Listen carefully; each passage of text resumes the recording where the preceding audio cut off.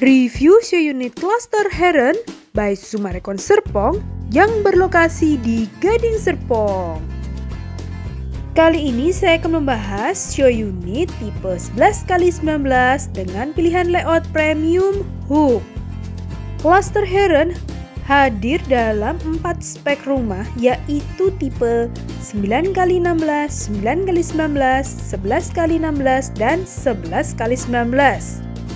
Tentunya Sumarekon Serpong memberikan pilihan kepada kita yaitu pilihan layout, standar, atau premium. Selain tipe pilihan layout, Sumarekon memberikan opsi yaitu penggunaan marmer import atau lokal pada flooring serta spek untuk tanpa atau dengan lift ya. Tentunya hal ini mempengaruhi harga dari setiap unit rumah yang akan kita ambil. Launching perdana di tanggal 19 November 2022. Jadi, Cluster Heron ini merupakan produk baru dari Sumarekon Serpong. Unitnya inden selama 24 bulan dari sejak masa launching. Tentunya dijual kosongan atau non-furnish sehingga show unit hanya sebagai referensi desain saja ya. Jika kalian ingin mengetahui bagaimana kondisi unit kita saat serah terima, bisa melihat di video saya sebelumnya. Dipasarkan di tahap perdana yaitu di 71 unit dengan total unit yang tidak begitu banyak sehingga menyebabkan Cluster Heron ini adalah limited unit saja. Selain itu, mengacu dari size, dari layout, dan dari spek rumah, Cluster Heron ini merupakan tergolong salah satu cluster favorit yang tentunya premium. Berlokasi di kawasan yang sangat strategis, yang pastinya sudah tahu semua ini di mana, di The Spring Sumarekon Serpong at Gading Serpong. Cluster Heron merupakan klaster ke-8 di kawasan ini. The Spring Sumarekon Serpong at Gading Serpong ini merupakan lokasi yang paling dicari saat ini karena berada di titik tengah antara BSD City dan Gading Serpong sehingga dekat ke N Mall dan dekat juga ke SMS Mall dan tentunya mempunyai dua akses tol yaitu tol Jakarta Merak serta tol Jor 2 ya, exit belakang Ion Mall. Salah satu selling point dari lokasi Cluster Heron ini berada di 2 menit dari pusat kuliner Ruko Goldfinch dan Ruko Maggiore. Jadi saya bilang ini walking distance saja. Gimana, menarik sekali kan? Untuk show unit dari sebelah kiri saya itu adalah 9x19 premium, yang tengah 11x16 premium dan yang hook ini yang akan saya ulas ini tipe 11x19 premium hooknya. Untuk luas tanah ini variasinya berbeda-beda setiap unit, tapi untuk ukuran standar punya luas tanah 209 meter persegi dan luas bangunan baik hook dan standar itu di 278 meter persegi, kamar tidur 4 plus 1, kamar mandi 6 plus 1, carport untuk dua mobil, dan garasinya untuk satu mobil. Perbedaan dari tanah hook dan standar ini ada di taman samping saja. Untuk tanah hook, taman samping tetap tidak bisa kita renov dan bangun sendiri ya. Menarik, konsep dari cluster Heron ini mengambil konsep split level dua setengah lantai. Bagian depan bangunan kita langsung ketemu carport di dua mobil luasannya yaitu 5,9 kali 5 meter. Dua special features yang pertama yaitu free canopy seperti di show unit dan automatic garage door seperti yang ada di depan saya ini. Jadi kita bisa buka dan tutup secara otomatis dengan menggunakan remote saja ya. Nah, ini adalah perbatasan antar tetangga seperti ini nanti kita dapatnya.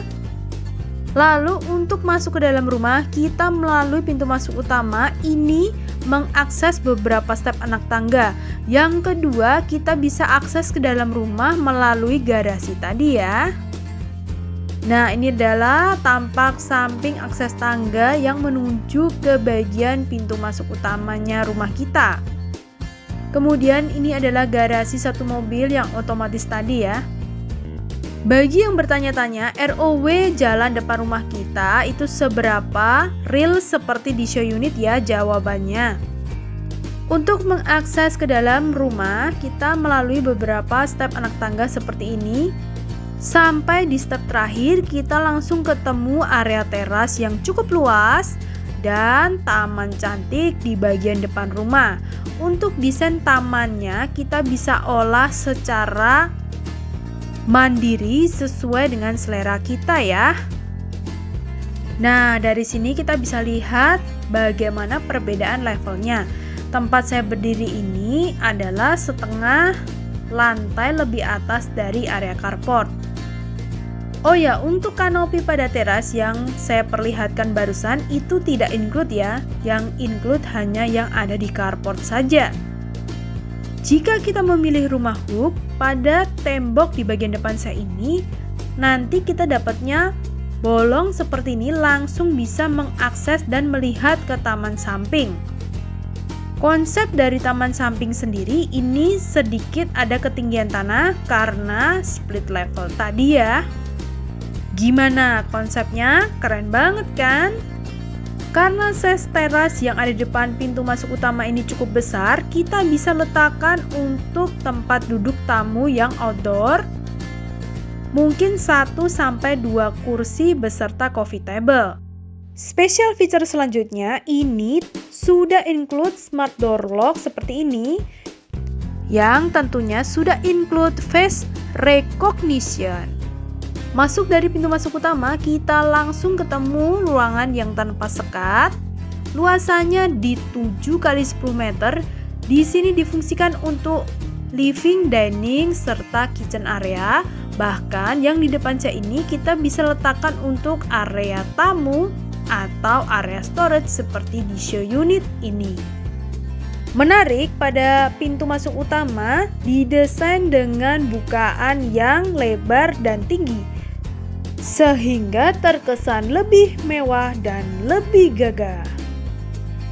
Di bagian tengah area kita langsung ketemu dengan living room area. Di sini kita muat letakkan satu sofa besar, satu sofa yang lebih kecil dan beberapa single sofa, puff, coffee table, storage serta panel TV seperti di show unit ya.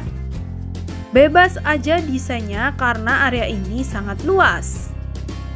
Untuk finishing flooring, seperti yang sudah saya sebutkan di awal video, ini kita bisa pilih marmer import dari Italia yaitu Statuario Vision dan marmer lokal yaitu Crema Sierra. Masuk kembali lagi ke bagian samping living room Tepatnya di bagian belakang rumah, ini terdapat dining area ya. Sebelumnya saya perlihatkan lagi bagaimana view dari arah living room mengarah ke bagian area depan rumah. Nah, ini adalah dining room areanya. Ada gorden yang tertutup di depan saya itu. Sebelah kanan saya ini adalah akses jendela yang mengarah ke taman samping dan di bagian belakang kursi makan di samping saya ini itu adalah pintu geser berupa kaca clear yang mengarah ke backyard atau taman belakang. Nanti saya perlihatkan ya.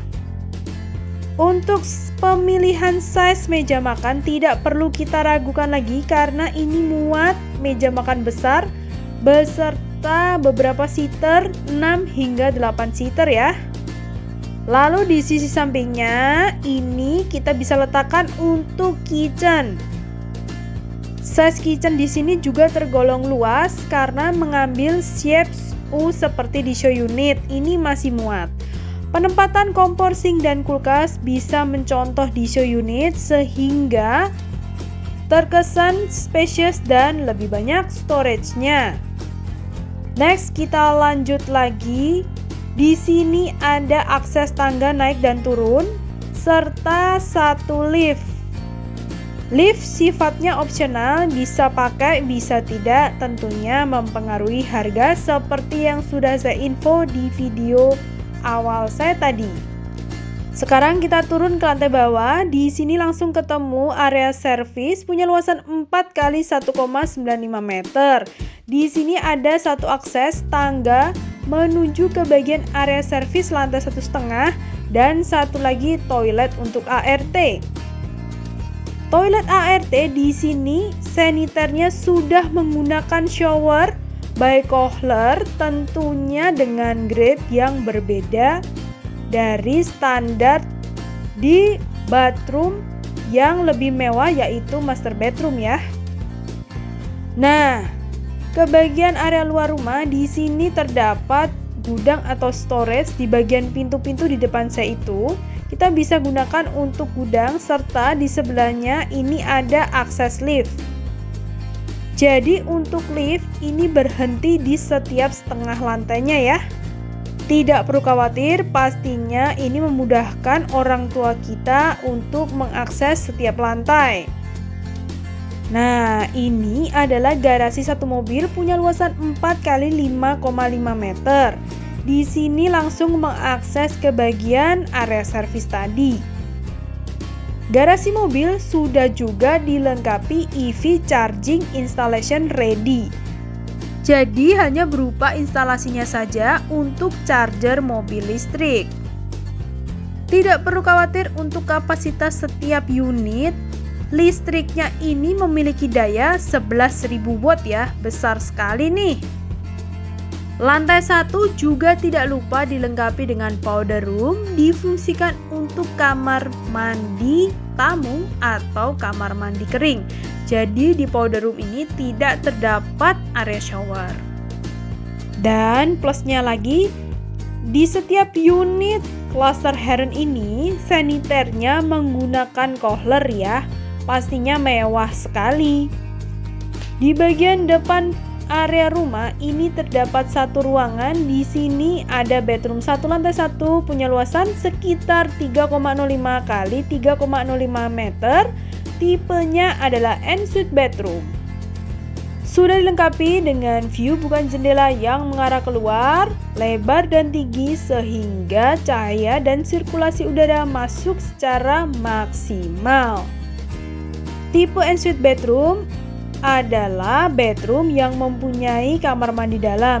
Sangat nyaman sekali loh untuk aktivitas orang tua kita karena tidak terdapat step anak tangga. Namun, bedroom ini bisa kita fungsikan untuk kamar tidur anak, tamu, area kerja, dan area-area lainnya sesuai dengan kebutuhan kita masing-masing. Lanjut lagi ke bagian area terakhir di lantai satu ada backyard atau taman belakang. Backyard ini mempunyai luasan 11 kali 3 meter, tentunya sangat besar yang bertanya-tanya kolam renang ini include atau tidak, jawabannya tidak include, kita hanya mendapatkan tanah kosong saja. Tapi jika kita ingin membuat kolam renang seperti di show unit ini sangat memungkinkan sekali ya. Salah satu perbedaan antara panjang tanah 16 dan 19 yaitu terdapat di backyardnya atau tamannya. Panjang tanah 16, taman berada di bagian samping rumah, Sedangkan panjang tanah 19, taman berada di belakang rumah seperti di show unit ini. Dan yang paling utama, salah satu keunggulan Sumarekon Serpong mempunyai dinding pembatas antar tetangga itu adalah setinggi dua lantai seperti di sebelah kiri saya. Sehingga menimbulkan kesan aman dan tentunya lebih nyaman ya. Masuk lagi ke bagian dalam rumah, lantai satu dan lantai bawah sudah saya ulas semua. Kita lanjut ke bagian lantai satu setengah ya. Kita naik ke setiap step anak tangganya. Wah, ketika saya naik tidak terasa capek dan berat karena ketinggian step anak tangganya itu sudah diperhitungkan oleh desainer secara teliti sehingga membuat kita lebih nyaman. Sampai di lantai satu setengah belok kanan dari tangga tadi kita langsung ketemu dengan service area. Di sini ada area jemur, kamar tidur ART, serta area cuci dan akses tangga putar besi menuju ke area servis lantai bawah tadi. Mengakses dari bagian dalam rumah ke area servis ini kita melalui beberapa step anak tangga. Nanti saya perlihatkan ya. Ini saya perlihatkan dulu bagaimana tangga putar besi yang mengarah ke bagian area servis bawah tadi. Nah, ini adalah akses tangganya seperti ini. Kita turun lagi, masuk lagi ke dalam. Bagian depan, tepatnya di bagian dalam dari area servis ini, kita langsung ketemu satu area luar. Di sini ada akses liftnya dan di bagian kanan saya, tepatnya di depan saya ini. Nah, yang ini adalah ruangan bedroom 2 di lantai satu setengah. Tipenya ensuite bedroom sudah punya bathroom dalam seperti ini. Sudah dilengkapi juga dengan area shower beserta saniter dan titik water heaternya. Komplit banget dan tidak perlu kita khawatirkan lagi ya. Bedroom 2 dan bathroom tadi mempunyai luasan total 4 kali 4,9 meter. Bedroom ini punya view bukan jendela yang mengarah ke bagian depan rumah, tinggi dan besar sehingga setiap ruangan di klaster Heron ini untuk urusan pencahayaan dan sirkulasi udara sudah diperhatikan secara maksimal oleh pihak desainer dan developer Sumarekon Serpong.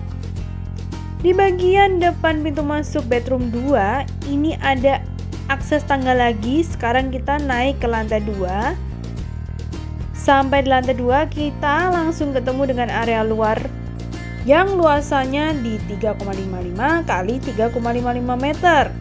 Di area luar ini sudah terdapat skylight yang mengarah ke bagian langit sehingga pada siang hari kita tidak perlu menyalakan lampu, cahaya sudah masuk secara maksimal.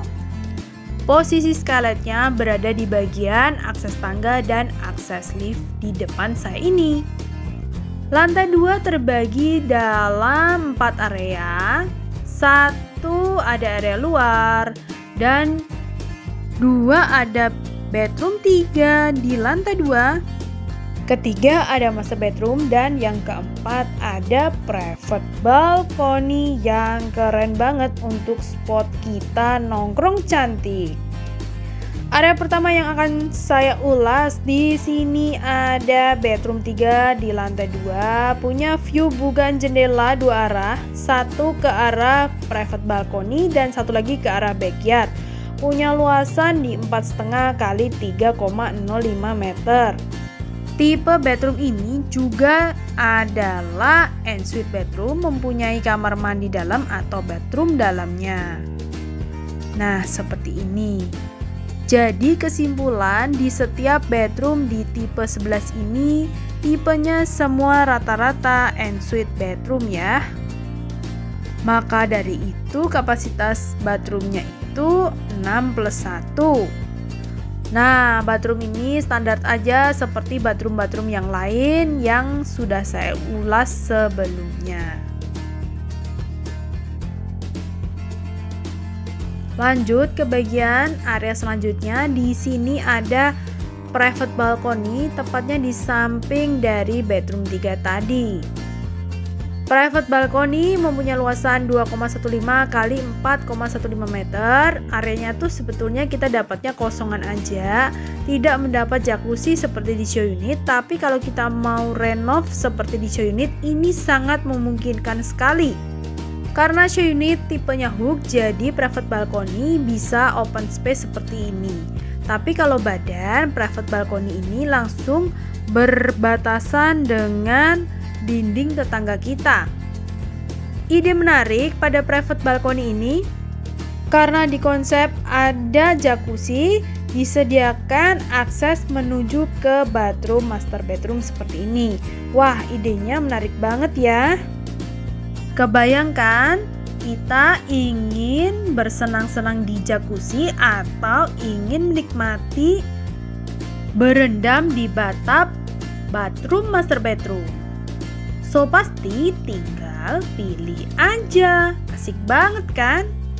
Pada area depan rumah di lantai 2 ini kita ketemu dengan master bedroom punya luasan di 7,5 kali 4,9 meter terbagi dalam dua area yaitu area tidur dan area walking closetnya. Area ini kita bisa bagi sendiri ya. Dapatnya ini tanpa sekat partisi di belakang TV itu. Jadi plong dan lapang saja. Jika kita ingin membagi seperti di show unit, di bagian depan sofa ini masih bisa muat banget jika kita butuh space untuk box bayi ya. Bebas saja kita bisa desain sesuka hati kita. Untuk ukuran ranjang ini muat di 2 kali 2 meter atau king size seperti di show unit serta bisa kita tempatkan di kanan kiri ranjang itu untuk settable. Master bedroom dilengkapi juga dengan balkoni yang mengarah keluar, view-nya luas, serta railing tangga menggunakan kaca tempered glass sehingga lebih terkesan modern dan lebih terkesan terang. Oh ya, untuk finishing lantai setiap bedroomnya ini menggunakan SPC wooden floor. All bedroom ya tentunya. Menarik di show unit pada area depan bed atau belakang TV ini digunakan untuk area walking closet. Di sini kita bisa aplikasikan wardrobe tinggi dengan E-shape yang berhadap-hadapan sehingga memaksimalkan storage tempat penyimpanan dari pakaian kita. Maju lagi dari wardrobe, kita ketemu dengan Bathroom master bedroom punya luasan di 3 kali 3,55 meter. Di sini sudah include bathtub dan area showernya. Komplit dan mewah, tentunya saniter dari Kohler dengan grade yang lebih bagus dan tinggi. Nah, di bathroom ini yang saya bilang langsung tembus ke private balkoni di lantai 2 tadi. Seru banget kan kalau kita aktivitas di bathroom ini atau di jacuzzi yang terletak di private balkon tadi. Lanjut lagi, nampaknya lantai 2 kita sudah ulas semua. Lanjut aja ke bagian yang kita tunggu-tunggu. Ada apa sih special features dari cluster heron ini? Tentunya udah nggak sabar kan? Sekarang kita langsung naik ke lantai dua setengah atau paling atas. Ada apa aja sih? Yuk intip langsung. Kalau ada lantai atas seperti ini, mengingatkan kita dengan konsep Leonora ya, yang mempunyai attic room. Tapi untuk di cluster Heron di sini tidak mempunyai attic room, melainkan mempunyai spek Skydeck ini adalah salah satu special features yang paling top di cluster Heron. Lantai dua setengah atau bisa juga disebut dengan lantai tiga ini cuman ada beberapa area seperti ini tapi spesial sekali. Ada area lift, diberikan satu powder room yang tidak ada area showernya untuk memudahkan kita beraktivitas ketika di area skydeck. Menarik, area skydeck di tipe ini lebih cenderung tertutup, namun untuk video dua unit sebelumnya itu menggunakan konsep yang lebih terbuka atau semi indoor dan outdoor gitu ya.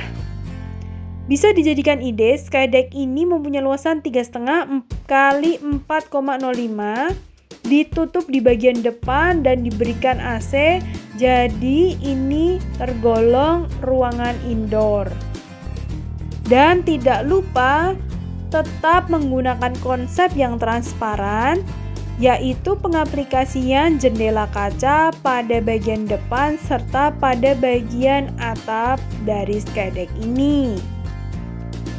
Gimana? Sudah kebayangkan akan dijadikan apa area ini? Tentunya pasti ini akan menjadi area favorit dari kita masing-masing.